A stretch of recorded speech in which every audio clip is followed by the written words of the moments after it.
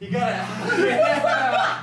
Ah, buddy, oh pal, man. Spencer. All right, we'll make it work. We'll make it work. All right. Okay, gang. Oh, this is too much love for little old man. Okay. All right. god. And we're about to do this. To the studio.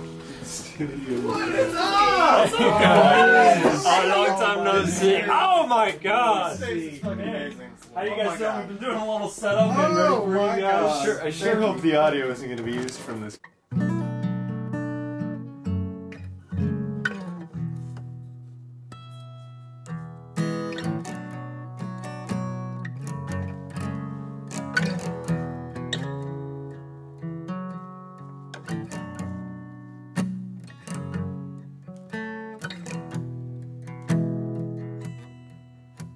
I knocked, he barked, I waited, then rang the doorbell to see if she'd come to my aid, but nobody answered, so I left a note with some food that I cooked in front of her home. Then went to leave when a text hit my phone saying she's stuck at the porcelain throne, not feeling too well and wants to be alone, which is sad to hear, cause I wanna be there, taking care of her and anything she needs to help her feel better and back on her feet. But I understand she's the woman I fell in love with, so independent, always on her own, always chasing goals, rarely letting anyone near her soul, which is why I hope she knows she can call me if she just needs someone to hold. Tender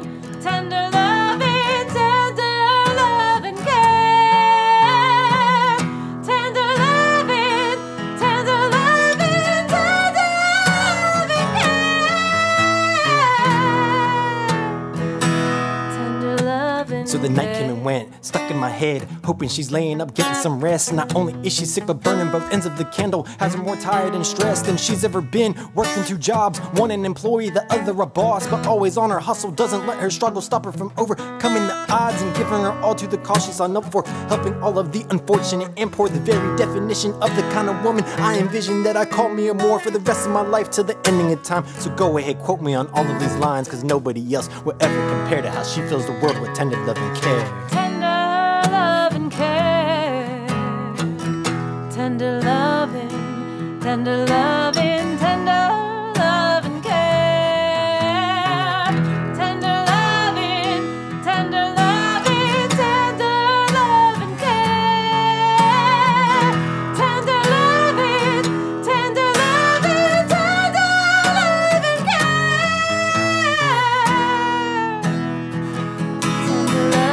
So there you have it, my biggest habit. Addicted to her love like a magnet. So damn attracted to how she lights up a room by showing a person compassion and why I'm head over heels for the way that she heals everybody around her like it's no big deal. Never wearing a frown when I know it weighs her down, but waits to get home just to dump it all out. Cause all their problems, she's the one to solve them. But who's the lifter when she hits the bottom? Who's to pick her up when she has fallen? Who's the one she talks with to help clear her conscience? Cause I'll be damned if she's unacknowledged for the work she puts in that goes forgotten, which is why I'm doing everything I can to be the man that she can finally count on.